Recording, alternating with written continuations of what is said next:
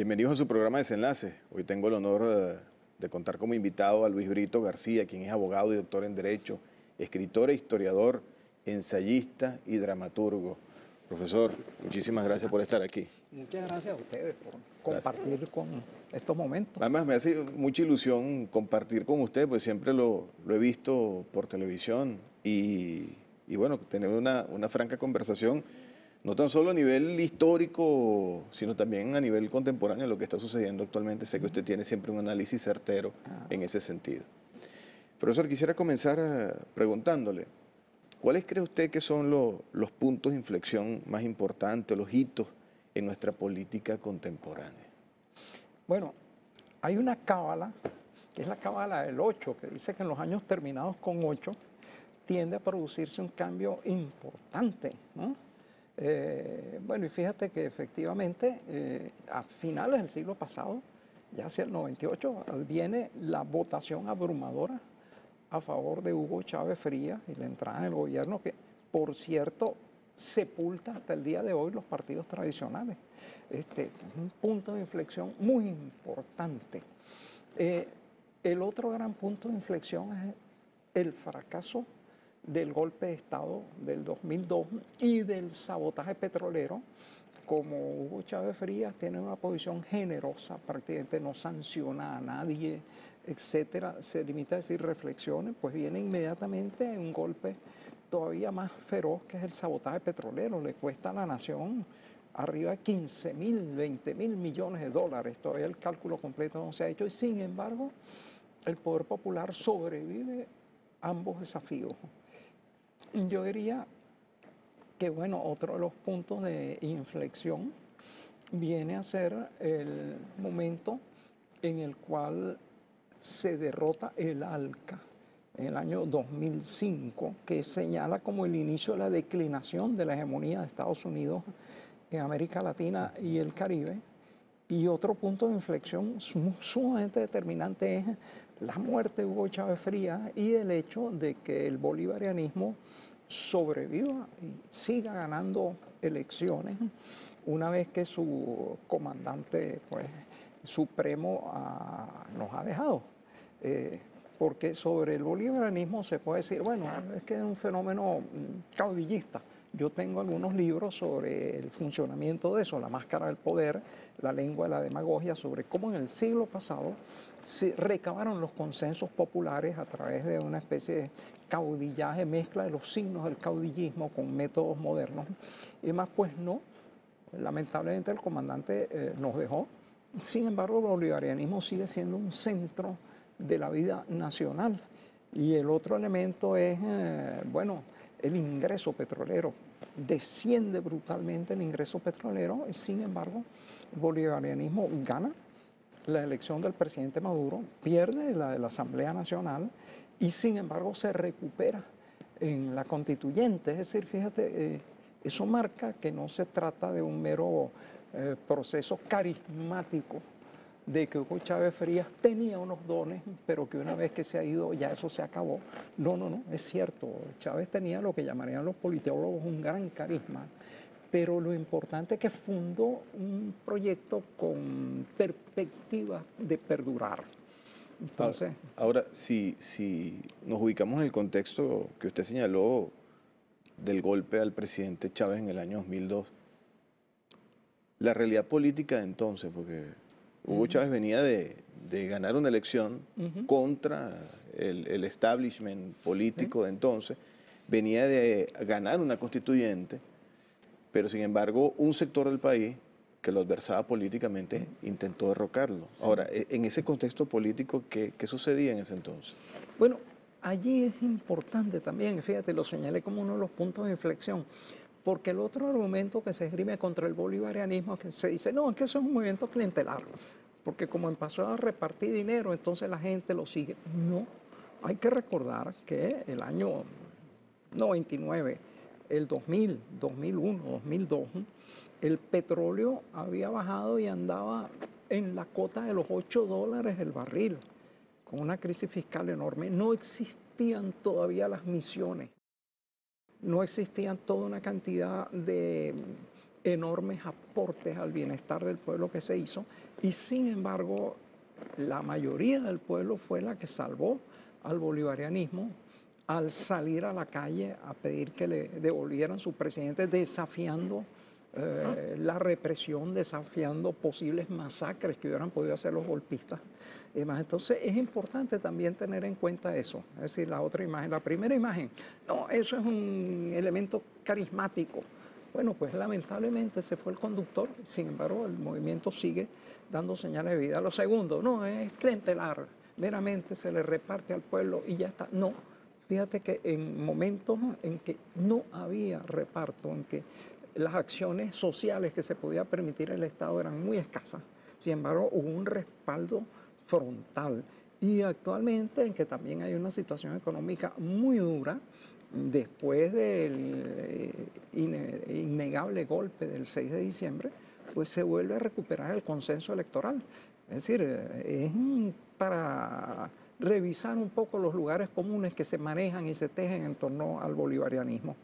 Mucha gente ha dicho que que el presidente Chávez como, como figura política eh, todavía presente en la, dinámica política eh, es el que ha venido ganando las elecciones, restándole un poco también de méritos a un proyecto, restándole también un poco de méritos al presidente Nicolás Maduro que ha hecho un esfuerzo titánico por, por estar allí eh, supliendo de alguna manera el rol del presidente Hugo Chávez, si se puede suplir una figura tan emblemática como esa. Pero, ¿qué piensa Luis Brito de esas elecciones post-Chávez?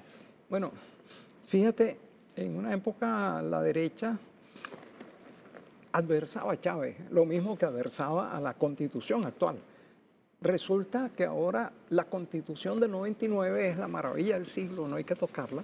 Y en segundo lugar, este, Maduro no es Chávez. Lo que quiere decir que Chávez tenía algo extraordinario, mágico, brillante, más que todo el mundo veía menos ellos, por cierto, ¿no? Entonces, pero no, no, mira, lamentablemente, bueno, mm, eh, todos estamos aquí de paso en esta vida, el comandante se fue, y entonces, mm, sin embargo, fíjate como el proyecto político en la peor época se ha mantenido. Evidentemente a Maduro le ha tocado un dificilísimo papel una cosa es administrar el Estado en épocas de, bonanza fiscal y otra cuando los ingresos bajan y cuando hay además una guerra económica declarada.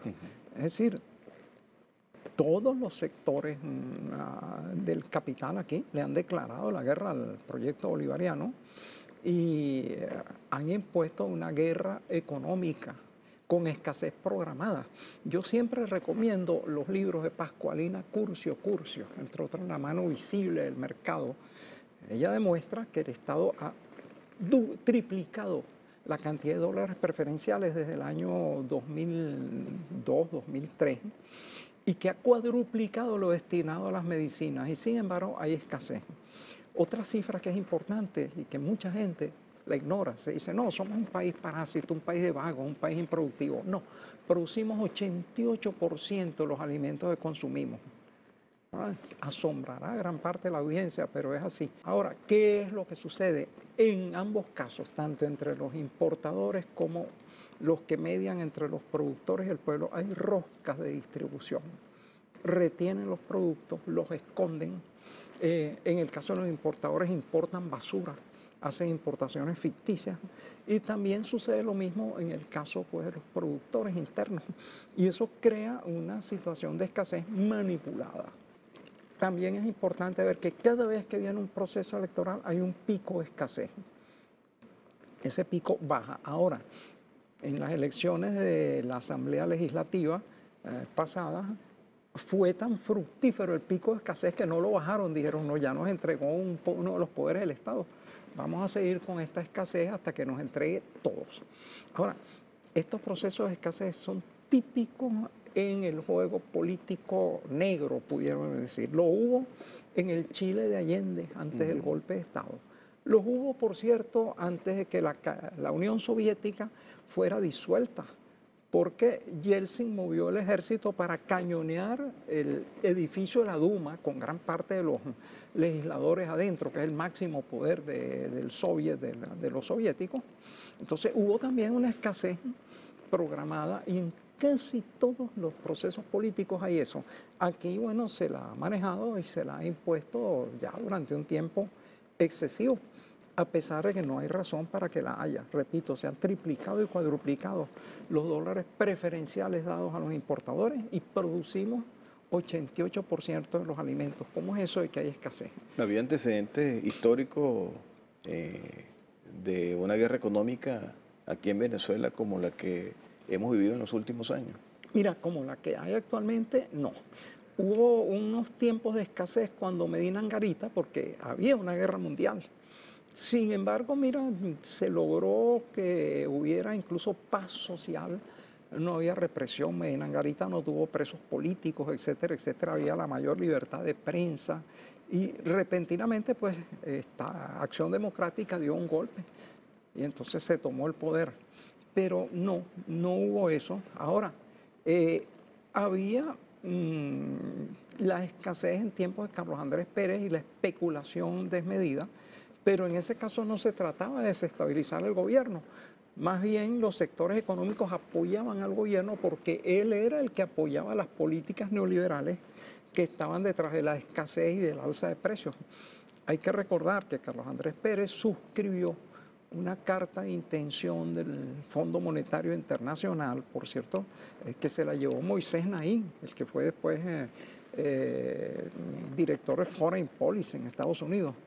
Y entonces esa, esa carta acogía todas las medidas neoliberales. El que está pensando el neoliberalismo puede arreglar la situación actual. Es que no conoce nada de la historia. Los precios se multiplicaron. Los productos desaparecieron inmediatamente, pero de una manera tan drástica y tan brutal que el pueblo se sublevó y salió a la calle. Y de allí viene un poco la Venezuela contemporánea. Es decir, de aquella deslegitimación de una socialdemocracia que se había vuelto neoliberal y que aplicó la más terrible de las represiones contra un pueblo que salió a la calle movido por el hambre, sencillamente. Yo diría que el colapso del neoliberalismo empezó en Venezuela. Es decir, fue la primera vez que todo un pueblo se alzó contra un paquete neoliberal y no en los gestos, en las opiniones, no, salió a la calle y entonces hubo una confrontación en la cual desde luego resultó vencido el bando que estaba desarmado, que era el pueblo. Pero eso marcó no solo la escena venezolana, la mundial. Profesor, yo quiero que al regreso del corte analicemos un poco el contexto en el que se da la Asamblea Nacional Constituyente del año 99, con el contexto histórico en que se da esta Asamblea Nacional Constituyente. ¿Cuáles son las principales similitudes y cuáles son las principales diferencias de esos dos momentos históricos? Si usted quiere interactuar con Luis Brito García, hágalo a través de nuestras redes sociales, Desenlaces TV en Twitter y Desenlaces TV en Instagram. Ya venimos.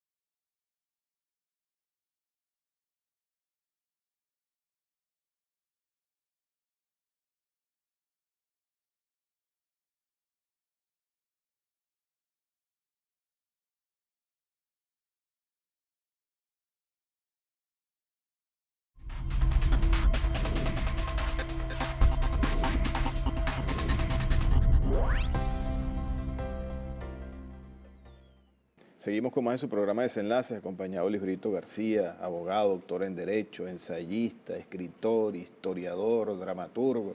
Profesor, ¿en qué faceta se siente más cómodo usted?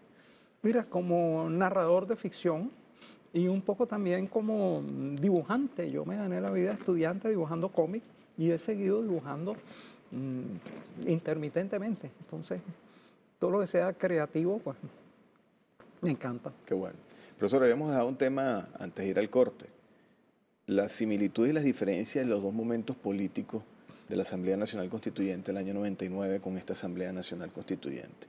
¿Qué similitudes, qué diferencias encuentra Luis Brito García en, esos dos puntos políticos? Mira, en el comienzo de un proyecto político tiende a haber un gran entusiasmo. Eh, cuando Acción Democrática derroca mediante un golpe de Estado al presidente Medina Angarita, que era un demócrata pleno, pues, tuvo un gran respaldo y entonces ganó las elecciones y se hizo una nueva constitución. Mm, esas, mm, esos apoyos fueron decreciendo después y además el proyecto de Acción Democrática fue truncado por un golpe de Estado dictatorial. Pero en los comienzos de un proyecto político tiende a haber un gran entusiasmo y fue lo que sucedió en la constituyente del 99. Ahora, fíjate tú que eh, se convoca actualmente la constituyente un momento en donde el proyecto político está seriamente atacado, sobre todo por la guerra económica, en la cual se acaba de salir de un revés electoral. Mm, el Consejo Nacional Electoral ha demostrado eh, su validez absoluta cada vez que ha habido una derrota del bolivarianismo, la ha declarado. Y el bolivarianismo la ha aceptado, pero de inmediato, sin trastrabillar, sin rezongar ni nada.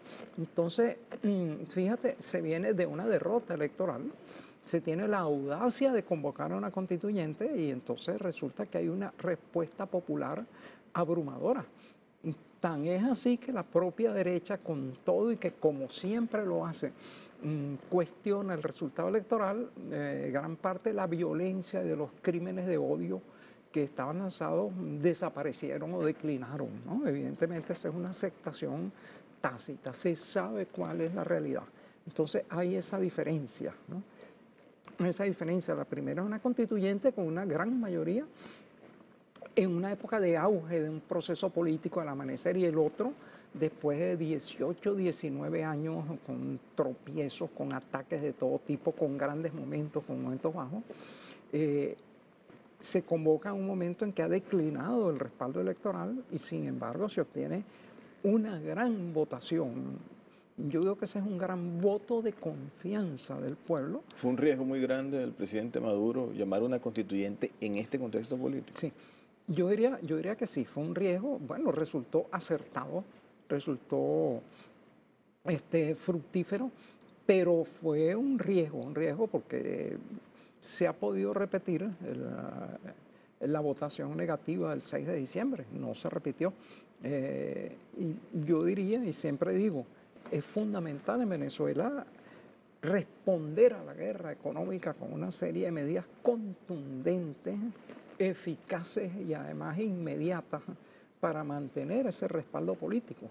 Entre otras, diría yo, el Estado debe asumir la importación y distribución de los bienes básicos. Es decir, em, me refiero a los bienes básicos, básicos, no es que eh, cosas de lujo además las vaya a importar también. Eso tiene riesgos, tiene riesgos de ineficacia, tiene posibles riesgos de corrupción, pero peor que lo que ha sucedido poniendo la importación de los bienes básicos en manos de ese pequeño oligopolio de importadores con dólares preferenciales es muy difícil. Ya vimos la situación difícil en que han puesto al país a la economía, pues no hay que reincidir en eso. Yo creo que hay que tomar esas medidas básicas y frenar el contrabando de extracción. El propio presidente Maduro ha dicho que por la frontera se va 40% de lo que Venezuela produce o importa. Yo siempre digo, ningún organismo puede soportar una sangría de esta índole. Hay que parar eso. Con esas dos medidas se estabiliza la situación y entonces eh, vuelve sin la menor duda el respaldo al proyecto político. Profesor, sin ánimo de, pedirle que haga un acto de prestidigitación o de evidencia, ¿qué hubiera pasado en Venezuela con los elementos políticos que tenemos para analizarlo eh, de no haberse dado este proceso constituyente?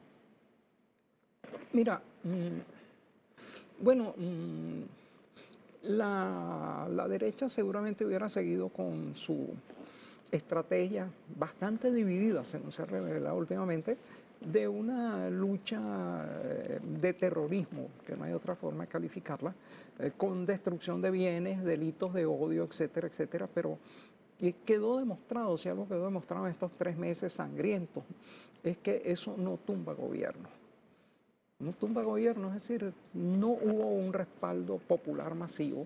Incluso hubo grupos de la propia oposición que muy sensatamente se, se distanciaron de esa política, no es que la condenaron abiertamente o que la combatieron, pero por lo menos se distanciaron.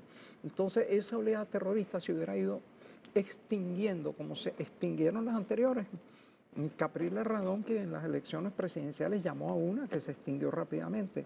López llamó a otra que duró un poco más, pero también se extinguió. Y esta en la cual se eh, engolosinó a la derecha diciendo que el poder estaba al alcance de la mano, duró un poco más con resultados muy lamentables. Fíjate que eso ni conmovió la lealtad del ejército, ni conmovió la voluntad popular, porque a pesar de que hubo cercos y asedios contra las mesas electorales, de que hubo pueblos que quedaron aislados, yo mismo me tuve que mover al poliedro para poder votar, porque tenían clausurados los accesos a la zona donde, vivo. Sin embargo, hubo ese impresionante respaldo. Entonces, mm, yo creo que se hubiera extinguido, se hubiera extinguido y entonces, bueno, mm, quizá esta situación de respaldo se hubiera dado en las próximas elecciones regionales, que ya están, por cierto, convocadas. este, ahora, yo creo que allí habría jugado el que se tomaran medidas contundentes contra la guerra económica. No puede haber una guerra en que el enemigo ataca y tú no contestas tú no te defiendes, tú no tomas medidas equiparables o en el mismo nivel.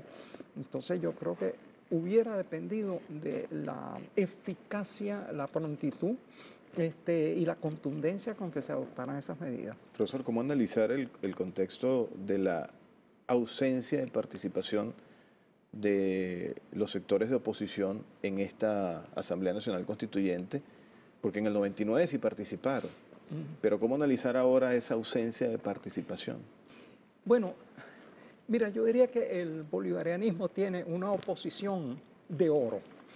Este, oye, hay que, hay que rogar para que esa oposición no desaparezca, porque es una oposición que en dos oportunidades por lo menos le ha entregado la plenitud del poder normativo al bolivarianismo. Primero en el 2005, si mal no recuerdo, se abstienen supuestamente asistir a la constituyente, no a la constituyente, a, las elecciones para Asamblea Nacional de la época. No es cierto que se abstuvieran todos, participaron muchos, pero ninguno obtuvo votos. Cinco años en que hubo una Asamblea Nacional roja, rojita. ¿Por qué? Porque así lo quiso la propia derecha absteniéndose. ¿Pero qué ah, pensaba la derecha en ese momento? ¿Que iba a carecer de legitimidad una Asamblea Nacional donde no participara sectores opositores. Exactamente, y sin embargo, bueno, oye, hay un principio jurídico, nadie puede alegar la propia torpeza. Es decir, si hay unas elecciones convocadas y yo no participo en ellas, entonces después no voy a decir que eso es culpa de los otros. No, no, no, yo me abstuve, yo me abstuve. Lo mismo se puede decir ahora. Eh, la oposición se abstuvo de asistir a la constituyente. no, no puede quejarse ahora, fue una decisión propia. Es decir, está convocada una fiesta, yo no fui entonces no pude beber, ni gozar, ni bailar y demás, entonces me voy a enfurruñar. No. Ahora, hay una diferencia bastante importante entre ambas, ¿no? En la primera, bueno, eh, insisto en eso, fíjate que en dos oportunidades la oposición ha entregado el poder casi absoluto al bolivarianismo. Yo una vez saqué un artículo que se llamaba Las tareas revolucionarias de la ultraderecha, señalando como la serie de cosas difíciles que había hecho la derecha para entregarle el poder al bolivarianismo. Por ejemplo, oye, digamos que eh, sanear el ejército de una serie de elementos, pues tira un golpe de Estado absolutamente disparatado y aunque no se toman retaliaciones, poco a poco moviendo a la gente de cargos, eh, se limpia el ejército entregarle el poder de petróleo de Venezuela, que era una especie de jerarquía, estaba dentro del Estado, pues ellos mismos se van de huelga y entonces están tres meses dando lugar a que se despida una parte importante de esa nómina mayor. Y así sucesivamente. Ha sido la derecha, a través de toda una serie de acciones disparatadas, la que le ha entregado porciones importantes del poder al bolivarianismo. Ahora, ese es el otro momento. El bolivarianismo no las ha sabido aprovechar el 2005 se tenía la plenitud del poder legislativo. Se ha podido sentar las bases legales de un Estado socialista que ya estaba reconocido por Chávez en los estatutos del PSUV. No se hizo nada de eso. Ojalá que en esta segunda oportunidad sí se aproveche. No se vaya a, eh, a, tener miedo el cuero después que se ha matado al tigre. Hay que aprovechar esta oportunidad para terminar de configurar el sistema político y sobre todo hacer imposible que la guerra económica le siga restando consensos electorales al bolivarianismo. Eso es fundamental, es lo básico. La pelea esencial está en ese campo. Profesor, debo hacer una nueva pausa, pero al regreso quiero que conversemos acerca de las principales decisiones de la Asamblea Nacional Constituyente y también un poco en el contexto de que, a juicio de algunos voceros de la derecha venezolana, ellos no reconocen a la Asamblea Nacional Constituyente, pero han demostrado tácitamente un reconocimiento, una subordinación, por ejemplo, y se lo dejo ahí para retomarlo al regreso al corte, participando en las elecciones a gobernadores que a propuesta de la Asamblea Nacional Constituyente fueron adelantadas. Entonces, al regreso del corte quiero que abordemos esos temas. Si quiere interactuar con los Brito García, hágalo a través de nuestras redes sociales, Desenlaces TV en Twitter y Desenlaces TV en Instagram. Ya venimos.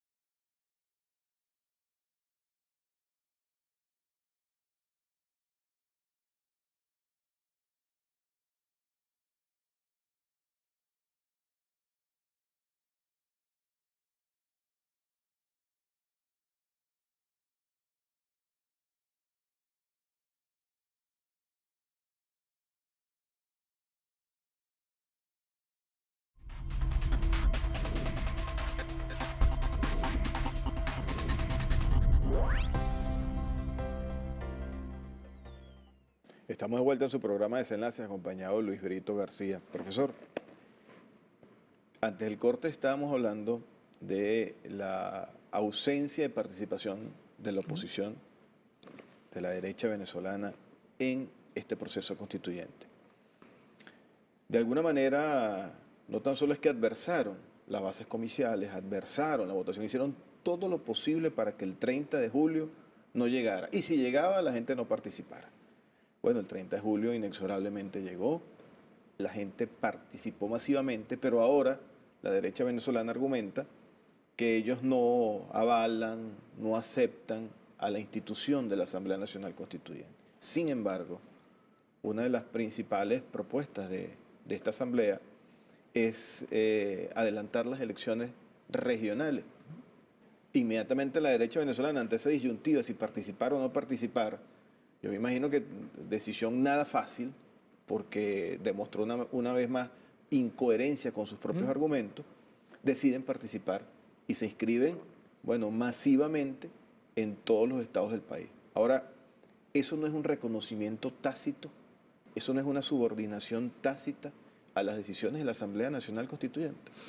Pues obviamente, tú, tú lo has dicho, la oposición solo reconoce aquellas elecciones que ella gana pero las gana porque se las reconoce el propio órgano que ellos denuncian como fraudulento, que es el Consejo Nacional Electoral. Eso, eso es enteramente inconsistente, absurdo, y ese absurdo se vuelve a, poner de manifiesto. Ellos están legitimando al Consejo Nacional Electoral.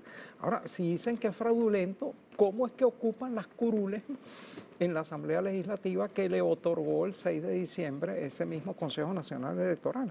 Es una mm, situación pendular, contradictoria, absurda, pero lo importante es que al aceptar las candidaturas lanzar candidaturas, están otra vez relegitimando el juego político democrático. Es decir, ya no se trata de prenderle fuego a ciudadanos en la calle porque no les gusta el color de piel o el color de sus ideas. Ya no se trata de estar poniendo prisioneros a todos los habitantes de ciertos municipios, eh, poniendo pilas de basura con personas violentas. Yo hace una semana vi que están intentando cortar el acceso entre Chacao y Altamira con una cinta y los tipos para cobrar peaje. Es una cosa de un salvajismo y una necedad absoluta que nadie puede estar de acuerdo, ni los opositores. Se les haber caído la cara de vergüenza cuando veían que en nombre de la oposición, que tiene sus argumentos ideológicos, eso se estaba convirtiendo en un simple acto de canterismo, sencillamente, de corte de paso. Entonces, bueno, mm, el juego político se reestabiliza por las vías democráticas. De luego que hay sectores de la oposición que están, que lo llaman la resistencia o algo así, que están decididos a seguir incendiando ciudadanos, a seguir poniendo presos a los distritos opositores con colaboración de la policía, etcétera, pero no creo que eso cuente con un consenso mayor. Es decir, no, creo que a nadie le guste que está en su casa y no le permitan ir al trabajo o a la clínica o a llevar a los muchachos al colegio porque tres encapuchados eh, protegidos por la policía local echaron un poco de basura en el, el principio de una avenida y, entonces está todo un sector preso sin haber cometido ningún delito. Ahora, antes de entrar en, consideración de las principales medidas que ha tomado hasta ahora la Asamblea Nacional Constituyente, quiero no, dejar pasar por alto algún comentario que usted hizo, que es la cantidad de gente que estuvo en las calles durante más de tres meses eh, apoyando hasta algunas medidas absurdas, pero bueno, dando demostraciones de apoyo a sectores de la derecha violenta, a actos de terrorismo que vimos en los principales municipios del estado Miranda, del distrito capital. Ahora, la pregunta es, esa gente que salió a las calles creyendo en los liderazgos de la derecha venezolana, en que estaba próxima la salida del presidente, esa gente hoy en día que no vio cristalizada la oferta que le hicieron los dirigentes de la derecha es nuevamente engañada por sus propios líderes? Mira, a mí me encanta la canción popular latinoamericana. Hay una que dice, voy viviendo, voy viviendo ya de tus mentiras y es por eso que te quiero tanto. Sé que mientes al besar y mientes al decir te quiero, miénteme una eternidad que me hace tu maldad feliz. La oposición en ese sentido yo creo que está como esa canción, miénteme una eternidad, sigue diciéndome que el poder ya está al alcance de la mano, este, sigue diciendo que mm, como me quieres, pues me encierras en mi casa, me destruyes los vehículos, me prohíbe circular, etc. Eh, no creo tampoco que haya unas adhesiones tan extremas. Este, yo he estado presente con cierto riesgo, he visto algunas de esas manifestaciones en el sector donde vivo, que es muy opositor. Bueno, hay filas de personas que van con sus gorritas y sus... Y de repente, mira, tres o cuatro personas cierran una avenida protegidos por la policía. Tengo fotografías, la policía local. ¿Qué heroísmo es ese? Cerrar una calle protegido. Había en algunas de las fotos que tengo, que por cierto eran un riesgo tomarlas, Resulta que había más policías protegiendo a esos terroristas que terroristas involucrados. Y de había un gentío furioso porque tenía que ir a trabajar, a cumplir compromisos, etc. Eso, yo cierro una autopista, quiere decir que toda la gente que yo retengo ahí está a favor mío. La mayoría están deseándome quién sabe qué cosas, no, pero no necesariamente están a favor mío. Entonces, mm, yo creo que ese apoyo más bien ha disminuido.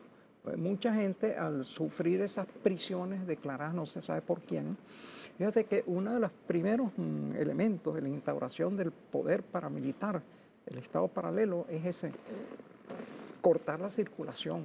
Se establecen cobradores de peaje, se establecen también cobradores de vacuna y yo los vi operando hace todavía una semana estaba intentando cobrar vacuna a la gente que pasaba por un sector céntrico, etcétera. Es la instauración de un parapoder, un estado paralelo horripilante, que es peor que cualquier cosa, pues ese sí es una dictadura, sus dirigentes no están elegidos por nadie, dicta sentencias de muerte que sí se cumplen y que nadie sabe quién las dicta, etcétera. Es decir, lo que tenemos ahí en cierne, yo llevo alertando eso desde principios de siglo, es la instauración de un poder espantoso es decir, y yo no creo que ningún ciudadano sensato sea de la oposición o del gobierno, pues también, eh, después de todo, todos somos racionales, solo que nuestras equivocaciones divergen.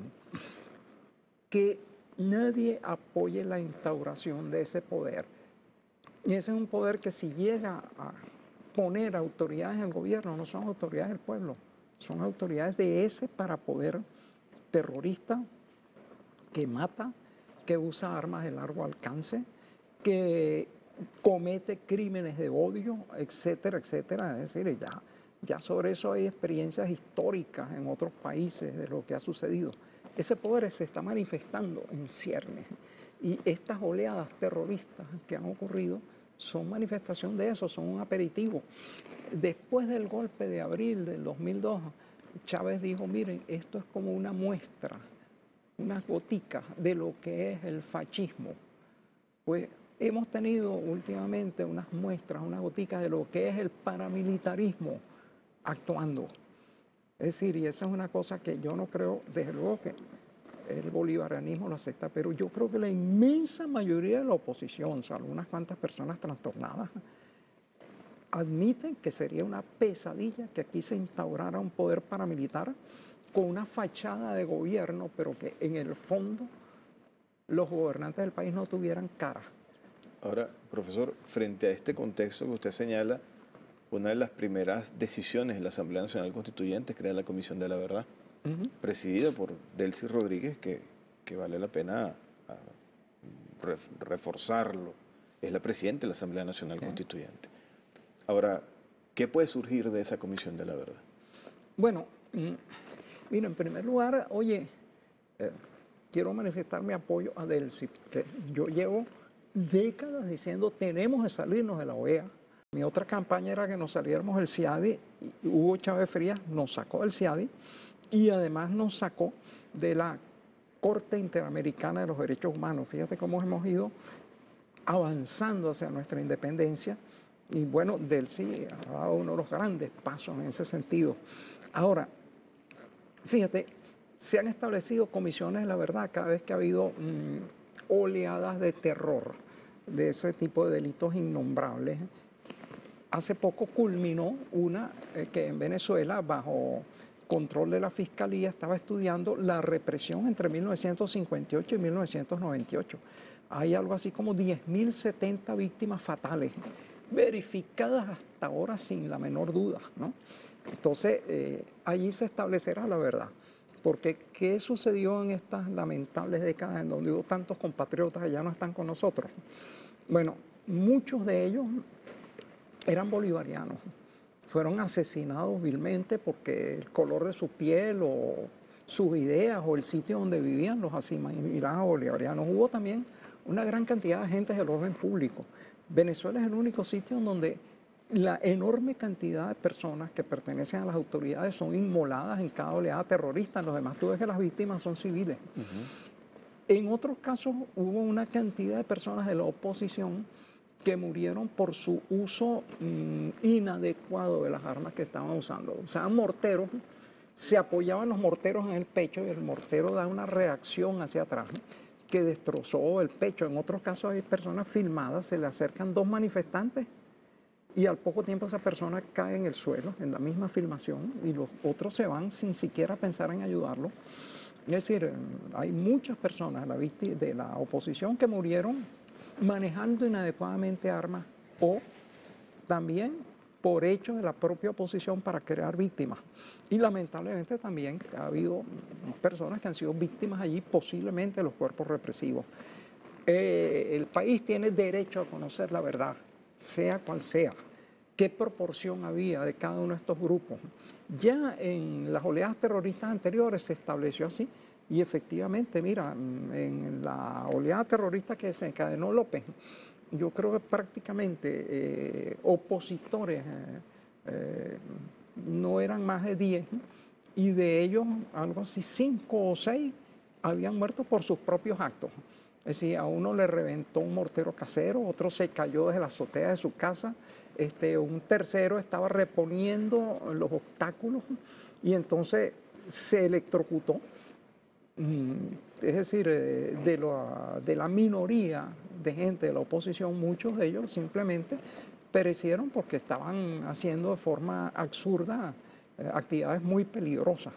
Entonces, bueno, eh, Venezuela tiene derecho a saber lo que ocurrió y el resto del mundo, en el cual se ha falsificado obviamente la situación de Venezuela. unos disturbios que ocurrían en unas 19 alcaldías opositoras, se los ha presentado, intentado presentar como una sublevación nacional. Claro. Este, unos disturbios en los cuales la oposición utilizaba armas mortales y en líneas generales las autoridades iban desarmadas únicamente con gases lacrimógenos, etcétera, se los ha presentado como una represión brutal con armas mortales contra la totalidad del pueblo.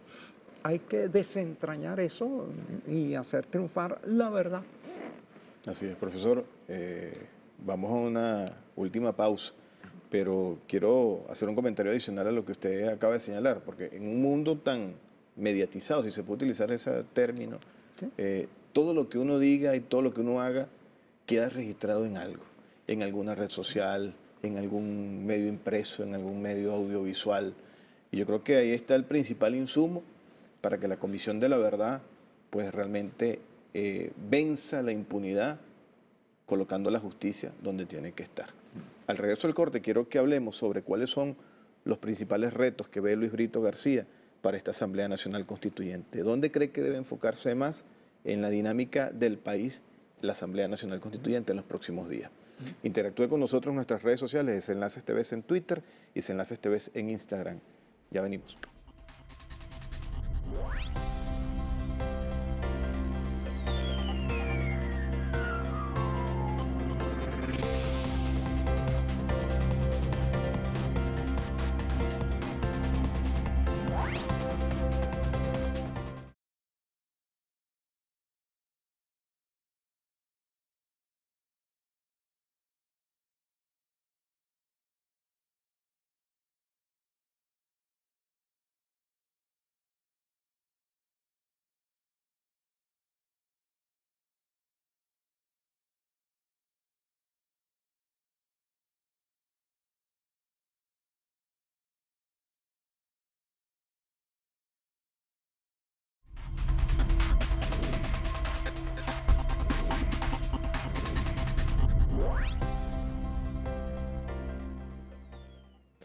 Hemos llegado a la parte final de su programa de desenlaces, pero todavía hay temas importantes que tratar con el profesor Luis Brito García. Profesor, ¿dónde cree usted que debe poner eh, la Asamblea Nacional Constituyente el debate nacional en los próximos días? ¿Cuáles son los puntos más importantes que esta Asamblea debe abordar? Bueno, el presidente Maduro ya puso un elenco de nueve puntos, me parecen todos pertinentes, pero uno podría además poner otros para simplemente no repetir, no redundar. Número uno, terminar de perfeccionar el principio de soberanía de Venezuela y de inmunidad de jurisdicción. Por ejemplo, todavía nuestra constitución dejó colarla del 99 una norma en virtud de la cual los contratos de interés público tienen que ser decididas las controversias sobre ellos de acuerdo con nuestras leyes y por nuestros tribunales.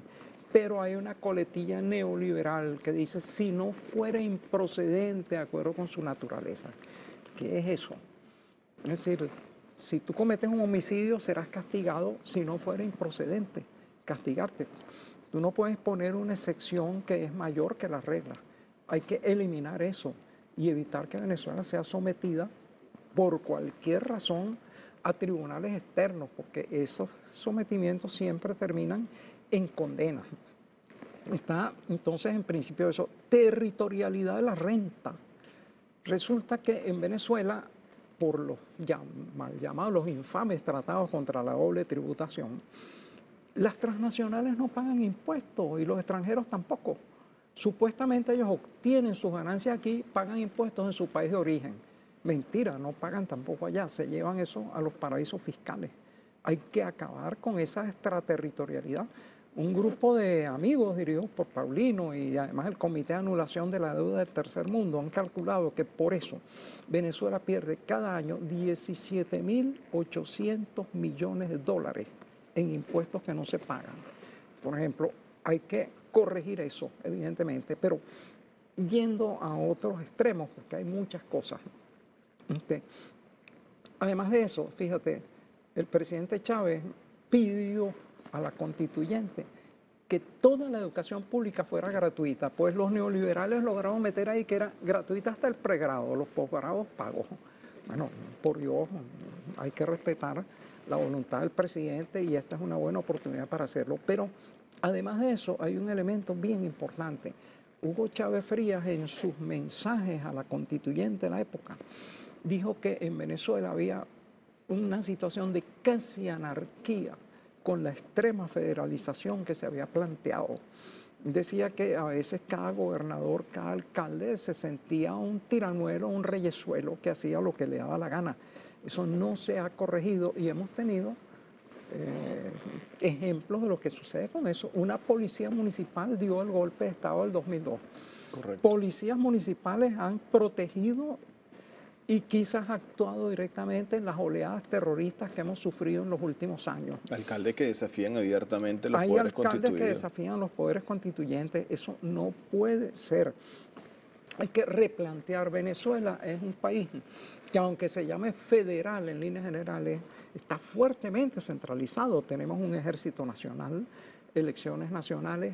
Además de eso, eh, resulta que casi todas las entidades locales dependen del situado constitucional que la financia, todavía que tuvieran ingresos propios, pero es una especie de autonomía enteramente artificial, consagrada constitucionalmente cuando no hay tal autonomía ni en lo financiero ni en lo económico. Tenemos un magnífico sistema de vías de comunicación la federación fue planteada el siglo XIX, cuando de un sitio a otro Venezuela tú tenías que coger una embarcación para ir de oriente occidente, etcétera, porque los caminos mm, del interior eran muy difícilmente transitables. Ahora agarramos volante aquí, y estamos en la frontera en ocho horas manejando. Es decir, entonces mm, hay que mm, ver con un criterio analítico eso. Y sobre todo lo siguiente, declarar de una vez por todas el carácter socialista de la Venezuela bolivariana. Eso ya está declarado en los estatutos del PSUV, lo ha proclamado infinidad de veces Hugo Chávez Frías, con las normas conducentes a afianzar este Estado y darle poderes para convertirse en socialista. Y además de eso, hay que consagrar constitucionalmente toda una serie de nuevas formas organizativas populares. Están las comunas, están los movimientos sociales, están las misiones, están los fondos zamoranos, están las, eh, las industrias o empresas recuperadas, está la red de medios libres, alternativos y comunitarios, toda una cantidad de nuevas mm, realidades sociales que necesitan o requieren una Mm, una consagración constitucional. Entonces esas son algunas de las cosas que podrían ir en el, nuevo texto constituyente. Hay muchas más, pero sería estarnos semanas un poco conversando sobre ellas. Yo diría estas como propuestas así inmediatas, urgentes. Todas muy interesantes. Ahora,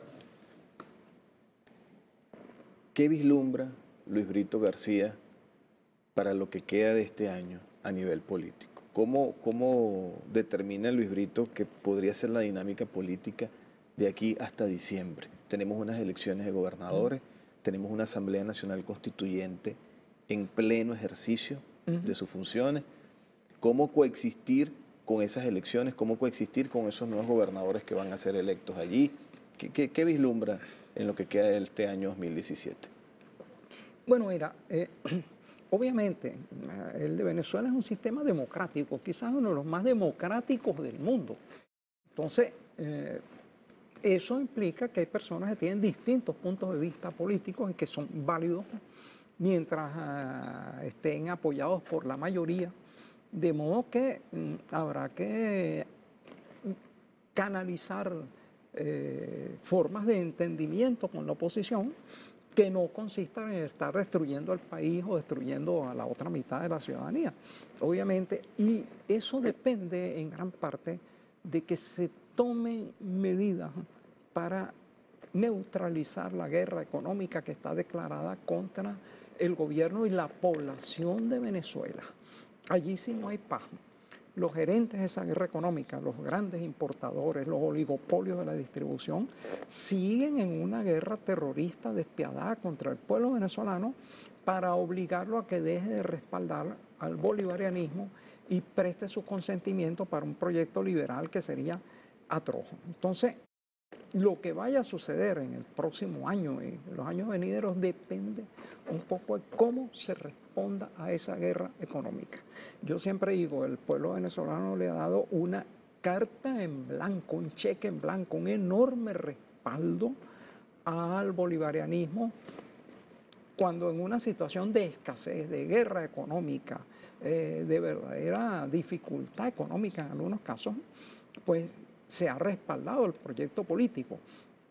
Pero eso no puede ser eterno, ni gratuito, ni demás. El proyecto político tiene que responder golpeando a los actores de la guerra económica y fluidificando la distribución de bienes para el pueblo. Repito, producimos 88% de los alimentos que consumimos, ¿por qué no llegan al pueblo?